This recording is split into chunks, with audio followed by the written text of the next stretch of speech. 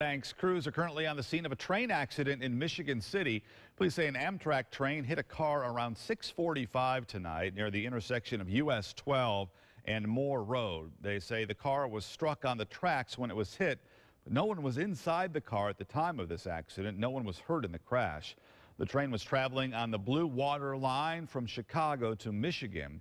Amtrak mechanics are making repairs on the train right now and buses are also on their way to transport those travelers.